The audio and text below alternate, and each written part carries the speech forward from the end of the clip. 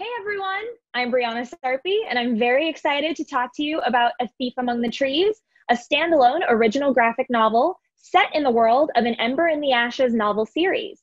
It takes place years before the events in An Ember in the Ashes and follows three young military recruits, Elias, Helene, and Tavi, during their brutal training for the Martial Empire. I'm happy to be joined by the creators of the series, Sabaa Tahir, Nicole Andelfinger, and Sonia Liao. All right, so let's just jump into it. Sabaa, when did you decide that you wanted to make a prequel to the series? And did you always know what the prequel would be about?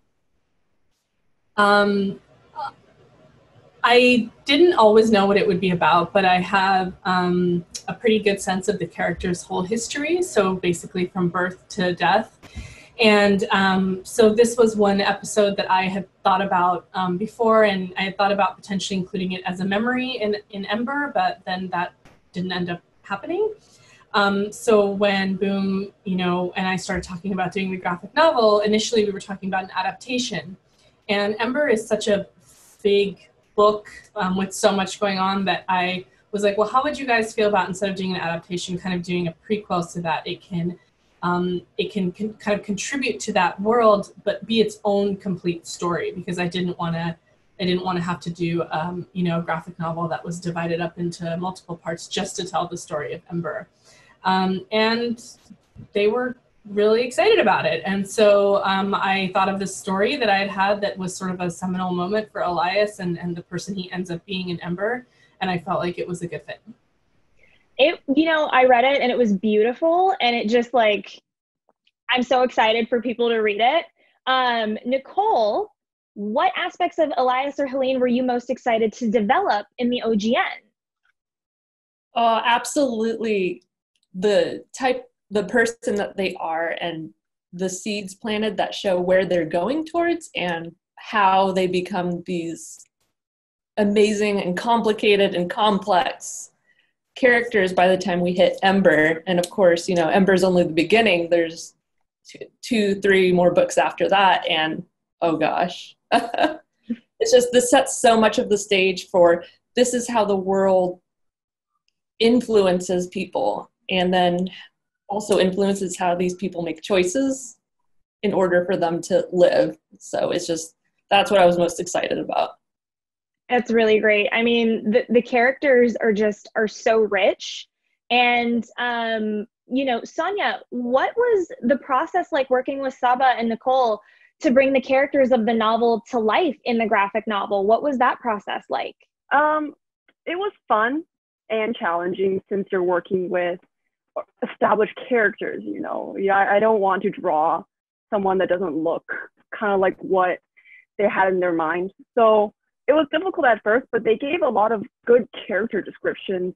So working back and forth, we were able to establish how everyone was was like before we actually got into the meat of the story. Um, so that was nice. That's great. It's great that you had, um, you know, some some work to pull from as well that already existed. So you had sort of, you know, a roadmap to work with. That's really awesome. Um, Sabaa, what inspired you to create the friendships and the dynamic between Elias, Tavi, and Helene? I think that when um, you know you're at any sort of school, you're in any sort of school setting, right? Your friends become um, your whole world, and I think that um, that was definitely true for me. Like I had my family, and you know they were cool, but my friends were kind of everything, especially at the age of 14. Um, and um, that's even more so the case with these um, children because they don't really get to go home very much. They're essentially mm-hmm. at a, a boarding school. I mean, it's a very violent boarding school, but um, that's basically where what, what, they're at. They get a month of leave every year, and they go home, and that's that's pretty much it. Um, so their bond is very close because they're not just friends and they're not just classmates; they're family to each other. And um, I wanted to explore that dynamic of of you know, what do you do when you basically see people as family, but you're pitted against each other by the people who are supposed to be taking care of you?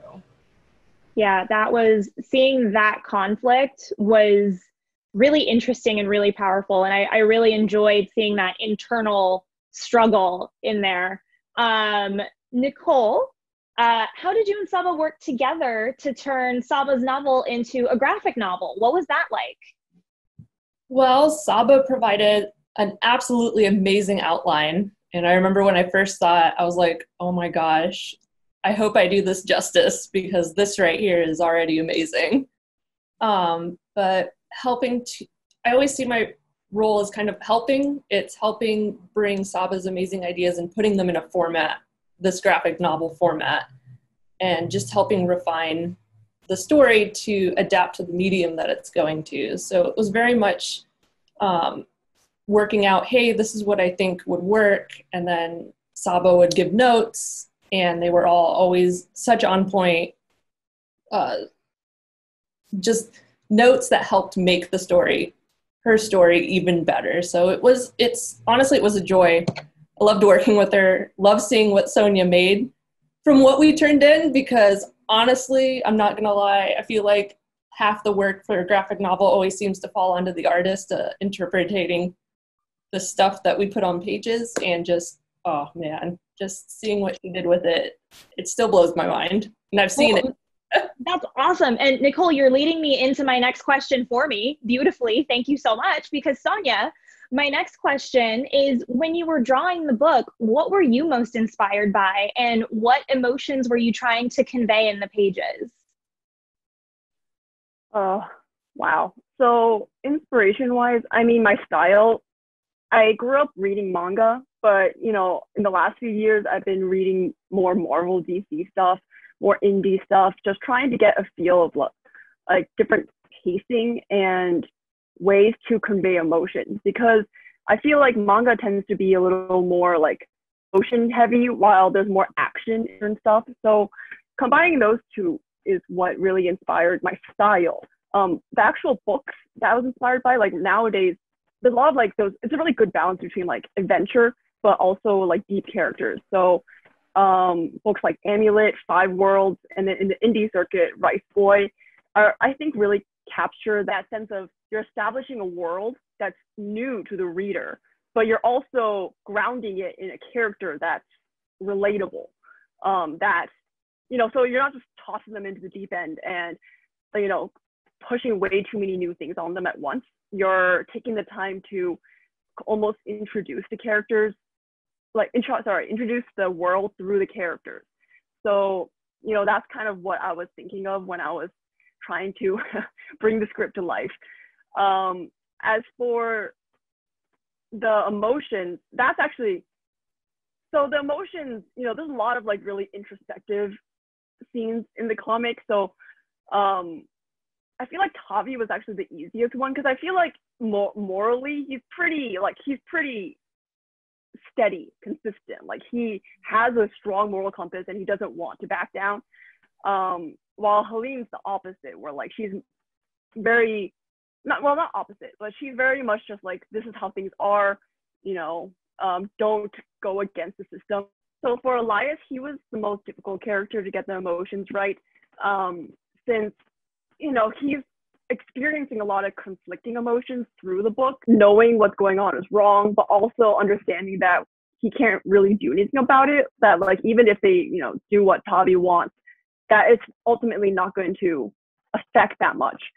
So it took a couple redraws to get that right, to get that that conflict right. And in the end, you know, I draw it, I send it out, and I'm actually glad to have um, you know, the boom team, Sabaa, Nicole, to like look it over to make sure that it's coming across correctly. Since you know, I might think it's right, but but maybe readers won't. So in the end, um, he was the most difficult to get the emotions right, but I think I'm pretty glad with how it came out. You know, that's so wonderful. You all did such a, a fantastic job bringing this gorgeous book together. Like the story's beautiful, the pages are beautiful. Thank you all so much for your time. And everybody, be sure to pick up A Thief Among the Trees in stores now.